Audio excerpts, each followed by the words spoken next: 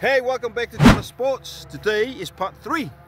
I would like for you to go and check out, there's a link below, part one and part two. Okay, please watch them all the way through and then come to this one. Okay, so if you're new here, like, subscribe, ring that bell and share it. Hopefully you can learn something. So today we're gonna focus on kicking, box kicking for halfbacks, scrum halves, whatever, whichever part of, in the world you are, whatever you call number nines. Okay, so the focus was box kicking of rucks, of scrums, of lineouts, okay, clearance. So today's focus is about distance and accuracy. So what we've got, follow me. Okay, we've got about 50 meters that we've marked out from here about 50 meters okay 55 uh, red yellow white blue right so this is about roughly like a five meter a five to six seven meter channel okay? So as usual because you're going for distance make sure you warm up properly because you're going to use a lot of power as well not just technique. If you would like for me to do some warm-up drills please comment below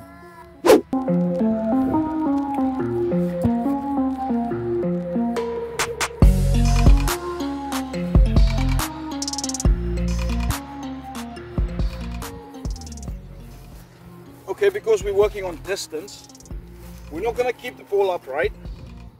And we're also not going to strike the ball slightly higher. It's going to be a little bit of a lower drop. A lot, a, a lot of times we make mistakes by flicking the ball before we kick it, like goalkeepers in, in football, in soccer. But because it's a kick for distance, it's important to tilt the ball. Okay, it's important to tilt the ball in the direction where you're going to kick it. If you tilt it backwards, there's a there's a good chance that you might just kick underneath it straight up.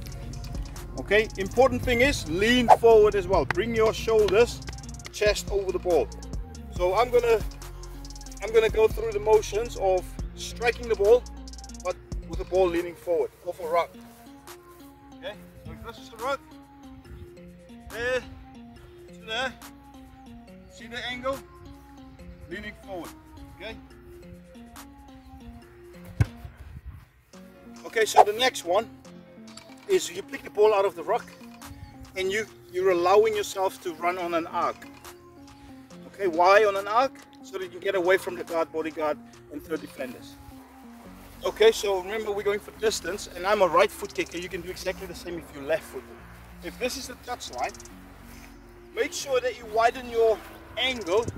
If you're a nine and that's the touch line, don't be eager to kick the ball having no angle. So pass the ball to the forwards, take your time, let them work infield, set yourself before you kick.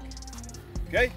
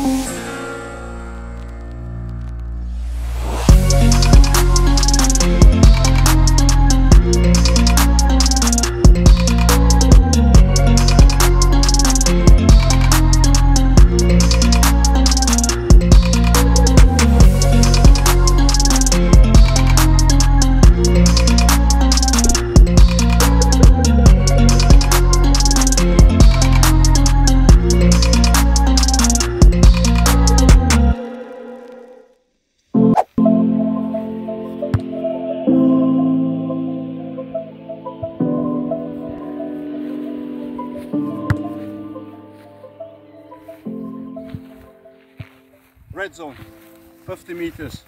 Why? Strike follow through go forward. Hips shoulders direction.